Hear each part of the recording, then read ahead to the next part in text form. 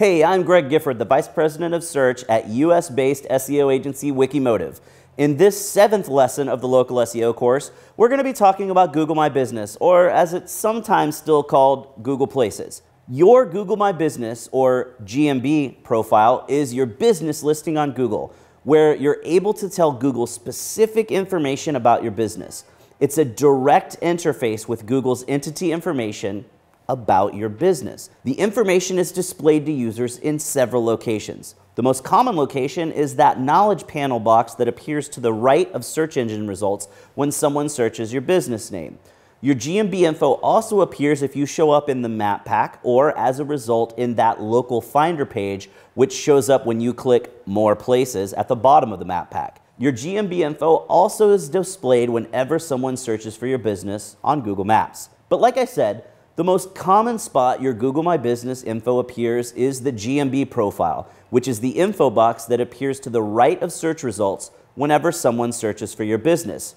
And I've got a crazy concept to share with you today. Your Google My Business profile is your new home page. For years, we've all been told that the home page of our website was of vital importance since that was typically the first impression that we would make with potential customers but that's no longer the case. If someone needs your phone number to call you, it's listed right there at the top of your GMB profile.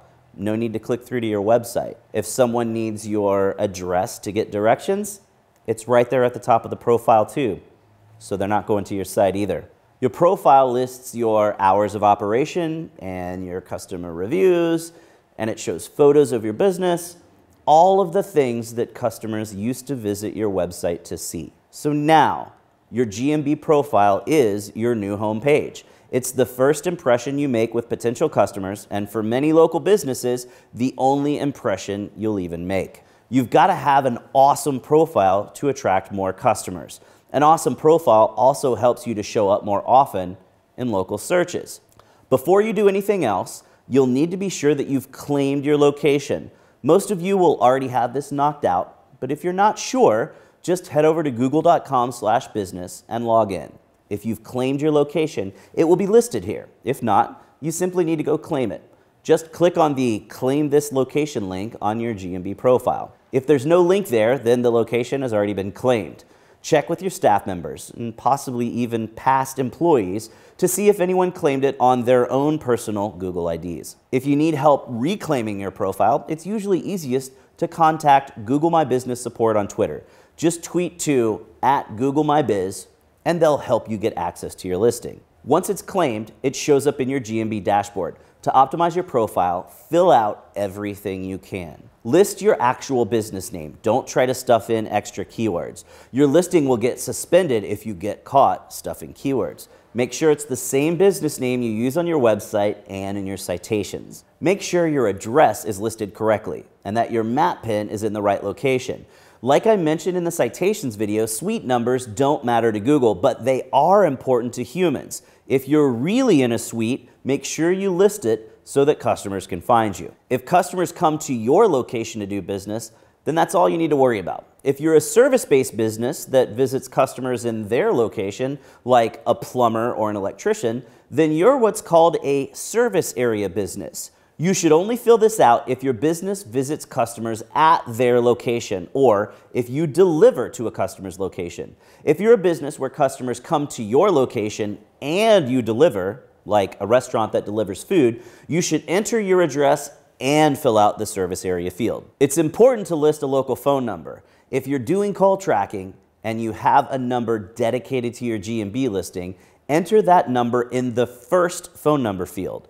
That's the number that shows up in your GMB profile, so it's what customers will call. Use the second phone number field to list your actual local number. That way, Google will see that it matches your citations and you won't have consistency issues. Enter your URL on the website field. Typically, you want to link to your homepage, but if you're a multi-location business, you may want to link to that locations page on your site you need to upload lots of high quality images to your business. Your GMB profile will show both the photos you've uploaded and photos uploaded by the community.